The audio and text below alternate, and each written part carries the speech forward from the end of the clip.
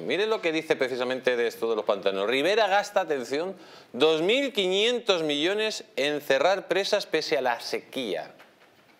Señor Vera, mira, se lo ha puesto como... No, claro, pues es lo que estamos diciendo. Es decir, es que los pantanos se construyeron y no eran gratis. Costó una millonada hacerlos y tenían un sentido socialmente. En España siempre ha habido sequía. Desde la época de Miguel Primo de Rivera se vienen, se vienen haciendo eh, obras hidráulicas fundamentales, porque aquí siempre hemos tenido lo que en la época de Franco se llamaba la pertinaz sequía. Siempre ha habido. Y entonces, ¿qué hay que hacer? Pues hay que hacer trasvases, hay que hacer obras hidráulicas, hay que hacer, eh, hay, hay que hacer embalses, hay que hacer desaladoras. Con Pedro Sánchez no se ha hecho absolutamente nada. Sí, eso sí, destruir presas. Fíjese lo que pasa ahora, en, por ejemplo, en Extremadura con Valdecaballeros. Una presa espectacularmente grande que la quiere la señora Rivera, la va a destruir, la quiere destruir. Y ahí una, ojalá se produzca una rebelión efectivamente de los ciudadanos de los pueblos del entorno, que son los que viven de ese agua, e incluso aquí la Junta de Extremadura, el señor Vara ha dicho que para nada se va a destruir esa presa.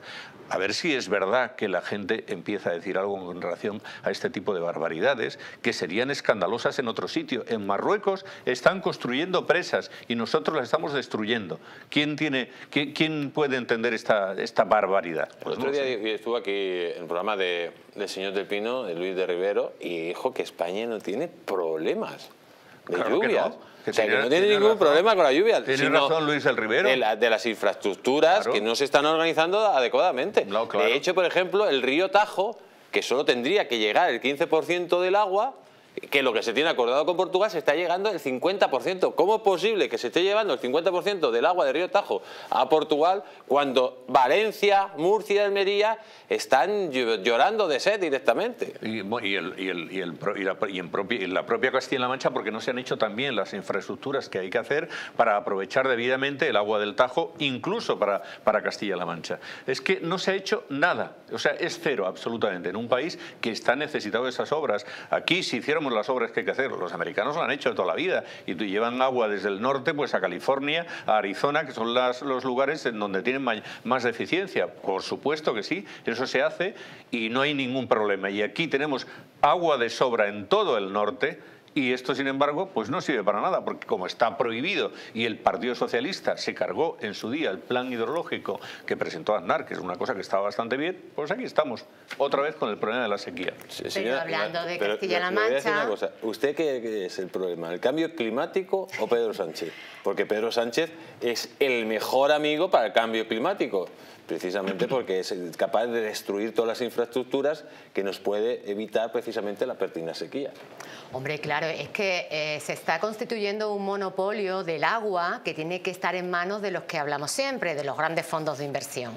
Y para ello hay que destruir las presas y para ello se va también... Eh, en una época de sequía de la que hablan tal y cual, resulta que van a construir un eh, macro, una macroempresa de datos de Meta en Talavera, en Castilla-La Mancha, que va a consumir 600 millones de agua potable.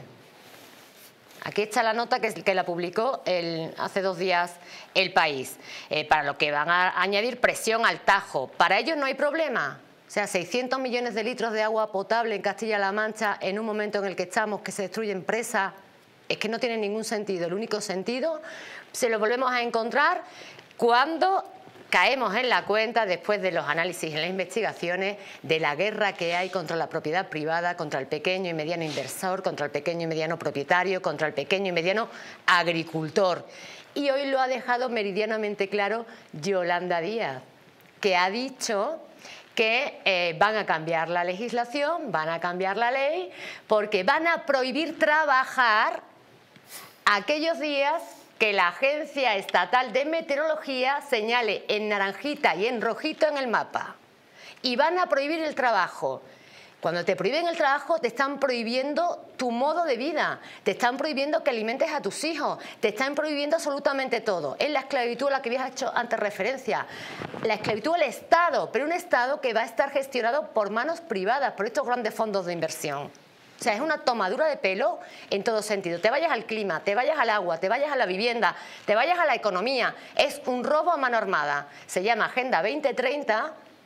¿Y qué dijo el otro día el señor Margallo? Que la Agenda 2030 es el Evangelio.